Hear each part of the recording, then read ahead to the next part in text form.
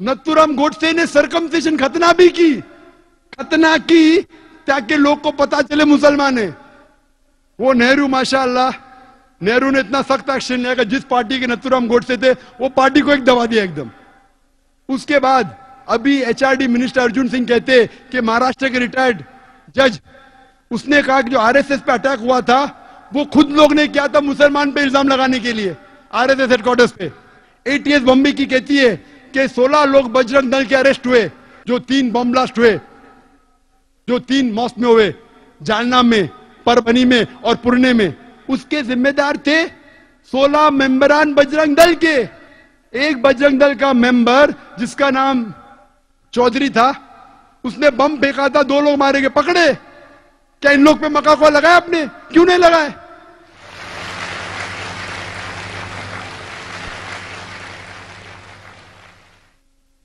जुलाई के अंदर 2006 में, एक बम फूटा, चार लोग मरे। कौन लोग? जो बम बनाते वही मरे। उसमें से एक आदमी बजरंग दल का था। बम बनाते हुए फट गए।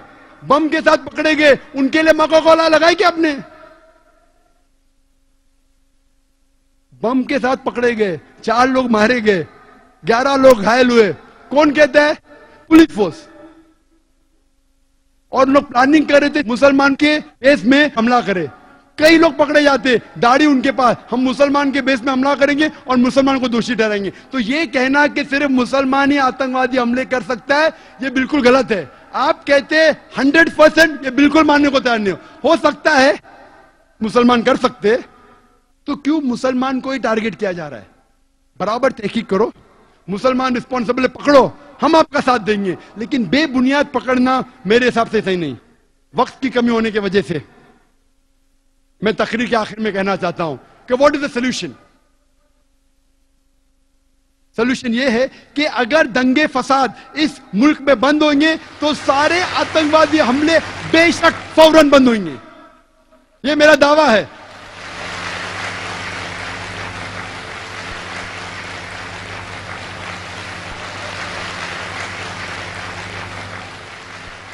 जितने भी दंगे फसाद हुए वो लोग को पकड़ो, चाहे बाबरी मस्जिद के, जो लोग ने बाबरी मस्जिद को शहीद किया। टेलीविज़न पे उनका सबूत है।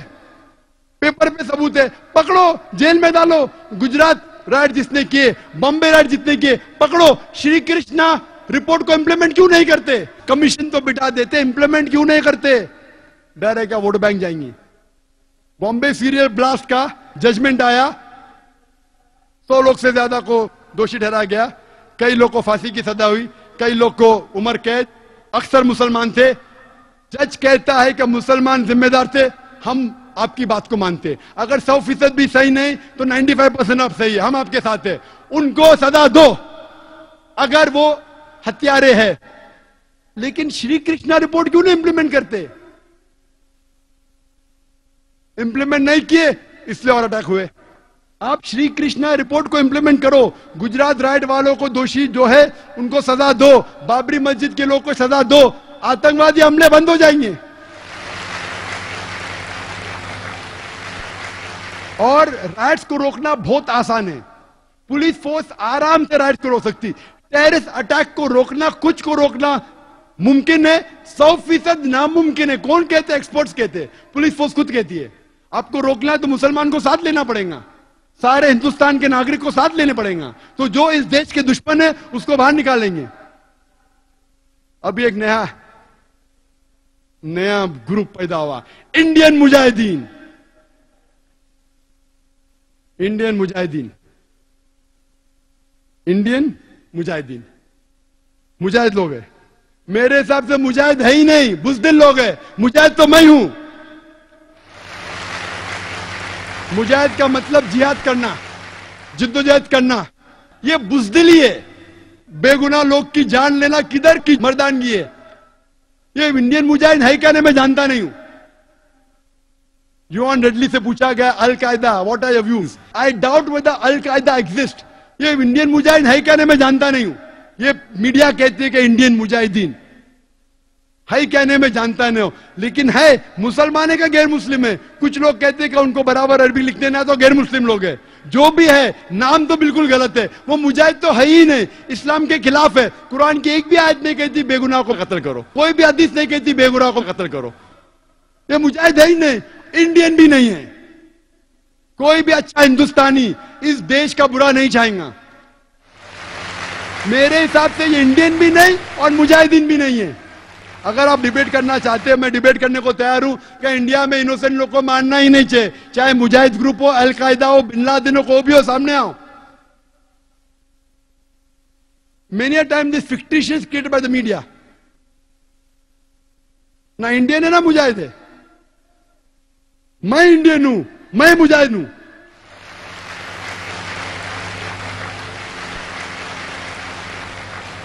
मेरी दरखास्त है। कि पॉलिटिशियनों से, कि पॉलिटिशियन लोग हक का साथ देना चाहिए। अपनी कुर्सी की फ़िक्र मत कीजिए। आखिरत की कुर्सी की फ़िक्र कीजिए। चाहे आप हिंदू है। हिंदू मज़हब की किताब में लिखा है, श्री कृष्ण क्या कहते हैं? यहाँ भले मर जाएँगे, स्वर्ग में जाएँगे। आपको यहाँ की कुर्सी क्यों फ़िक्र है? आखिरत का डर है क्या नहीं? चाहे आप हिंदू है, मुस्लिम हो या क्रिश्चियन हो, सारे मज़हब की किताब में लिखा है, आखिरत में आपको जाना है। मुझे मेरी कुर्सी की फ़िक्र है आखिरत में। मैं अल्लाह से दुआ करता हूँ कि आखिरत में मुझे कोई जन्नत में दाखला मिले। मुझे नहीं पता, इसलिए तो जियाद कर रहा हूँ। मैं पॉलिटिशियन से कहता हूँ कि आप हक का साथ दो, अदल का साथ दो। आप सीट पकड़ने की बात छोड़ो। हक के साथ आपको सीट मिलती है तो पकड़ो। अगर बातिल का साथ देना छोड़ दो। इधर आपको सीट मिले या नहीं मिले, आखिरत में ज़रूर मिलेंगे अगर हक का साथ देंगे तो। फिर हमारा देश तरक्की करेगा। चाहे आप हिंदू पॉलिटिशियन हो, मुसलमान हो या क्रिश्चियन हो। नंबर दो, मैं कहना चाहता हूँ आम नागरिकों से कि पॉलिटिशियन के बहकाव में मत आओ। आपस में झगड़ा मत करो। हिंदू, मुस्लिम साथ में रहना चाहिए। जैसा मैंने कल कहा था, मज़हब नहीं सिखाता आपस में बैर रखना। हिंदी है हम। वतन है हिंदुस्तान हमारा। क्यों आपस में झगड़ा करते? पॉलिटिशियन के बहकाव में मत आओ। नंबर तीन, मैं पुलिस से कहता हूँ, आप हक के साथ रहो। जो गलत लोग को पकड़ो, बेगुनाहों को मत पकड़ो। अगर पकड़ लिया इमीडिएटली छोड़ दो। और हक का साथ दो। और अगर पॉलिटिशियन आप पे दबाव डाल रहे, उसकी फ़िक्र मत करो। वो आपको निकाल नहीं सकते, आपका ट्रांसफ़र होगा हर पुलिस ऑफिसर अगर ईमानदार है, जो दूसरा उसकी जगह पे आएगा, वो भी ईमानदार है तो फिर से अदल इस मुल्क में हो जाएगा। और सब हिंदू मुस्लिम को साथ लो। आपस में मत बांटो। उसके बाद हमें देखना चाहिए कि इस देश की तरक्की होना चाहिए। इस ब्लेम गेम में फॉरेन पॉलिसीज़ कहते हैं, नुकसान होता है देश का। असली को पकड़ो और सजा दो, किसी बेगुनाह को मत पकड़ो। अगर पॉलिटिशियन अगर अच्छे नागरिक, अगर पुलिस फोर्स आखिर में आता है जुडिशरी जुडिशरी अल्हम्दुलिल्लाह, सुम्मा अल्हम्दुलिल्लाह। हिंदुस्तान की, उसे तस्लीम करना चाहिए। उसे मुबारकबाद देना चाहिए।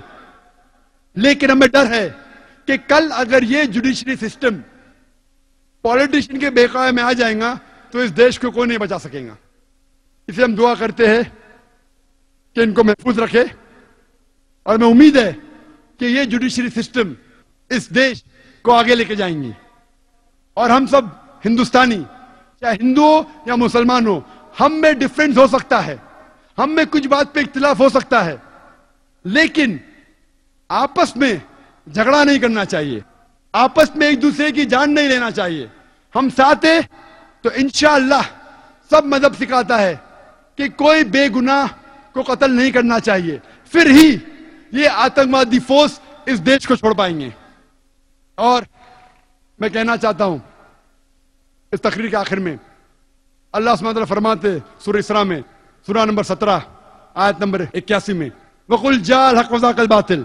इन बातिल काना का कहो कि हक आ चुका है और बातिल को खत्म होना है क्योंकि बातिल फ़ी नफ्सी खत्म होने वाला है। इस तकरीर को खत्म करता हूँ। डॉक्टर एडम पियर्सन के जुमले से। डॉक्टर एडम पियर्सन कहते हैं कि people who worry that one day nuclear weaponry will fall in the hands of the Arabs. They fail to realize that the Islamic bomb, the bomb of peace, has already been dropped. It fell the day Prophet Muhammad, peace be upon him, was born. Adam pension कहते हैं कि जो लोग को फ़िक्र है कि nuclear weaponry nuclear bomb अरबों के हाथों में लग जाएगा वो ये नहीं जानते क्या इस्लामिक बॉम्ब अमन का बॉम्ब गिर चुका है वो उस दिन गिरा जिस दिन मोहम्मद सल्लल्लाहु अलैहि वसल्लम पैदा हुए वाखर दावाना अल्हम्दुलिल्लाह रब्बिल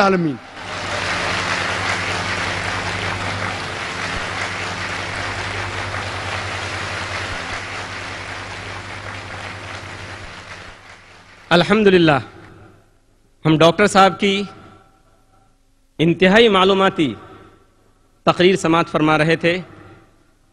अब इस इजलास का दूसरा सेशन शुरू होता है। ये सवाल व जवाब का सेशन है, जिसमें आप मुकर्र से सवाल कर सकते हैं और मुकर्र इन आपके सवालात के जवाब देंगे। इस सवाल और जवाब के सेशन को दिलचस्प और कामयाब बनाने के लिए चंद उसूल बनाए गए हैं, जिनका ख्याल रखना हम में से हर एक के लिए ज़रूरी है। सवालात करने वालों के लिए यहाँ तीन माइक का इंतज़ाम किया गया है। हमारे बाएँ हाथ की जानब माइक नंबर वन और बीच में दरमियान में माइक नंबर दो, माइक नंबर टू और ख़वातीन के हिस्से में माइक नंबर तीन, माइक नंबर थ्री है। इनशाला आज तरतीब इस तरह से रखी जाएगी कि पहला सवाल इनशाला माइक नंबर थ्री, यानी ख़वातीन की जानब से होगा। दूसरा सवाल, माइक नंबर दो, यानी दरमियान से होगा। और तीसरा सवाल इनशाला माइक नंबर वन, या माइक नंबर एक से होगा। इस सवाल जवाब के सेशन में सवाल करने वाले से गुजारिश है कि वो सबसे पहले अपना नाम और प्रोफेशन, यानी पेशा बताएँ। सवाल करने में गैर मुस्लिम भाइयों को पहले मौका दिया जाएगा। और उन्हें इस्लाम के ताल्लुक से कोई भी सवाल करने की पूरी पूरी आज़ादी हासिल होगी। सवाल छोटा करें और सवाल करने से पहले कोशिश करें कि आप बात लंबी न करें, बल्कि अपना नाम और प्रोफेशन यानी पेशा बताकर फ़ौरन सवाल शुरू कर दें। हमारे मुस्लिम भाइयों से गुजारिश है कि उनके सवालात उनवान से मुतक़ हों। इख्तलाफी और फ़ी सवाल करने की इजाज़त नहीं दी जाएगी। एक वक्त में एक ही सवाल की इजाज़त होगी। अगर सवाल गैर ज़रूरी यानी नामुनासिब हुआ तो उसको रद्द करने का इख्तियार मुझे हासिल होगा। मुझे उम्मीद है कि आप सभी हजरात इन उसूलों को सामने रखते हुए इस सेशन को कामयाब और दिलचस्प बनाने में मेरी मदद करेंगे। अब हम पहला सवाल शुरू करते हैं माइक नंबर तीन खातन की जानब से, अगर खातन में कोई गैर मुस्लिम बहन हो तो खातन वॉल्टियर हजरात से गुजारिश है कि उनको मौका दिया जाए। अस्सलाम वालेकुम। मेरा नाम स्मिता है। मैं सर्विस करती हूँ। मुझे इस्लाम कबूल करना है। तो मेरी आपकी गुजारिश है कि आप मुझे कलमा पढ़वाएँ।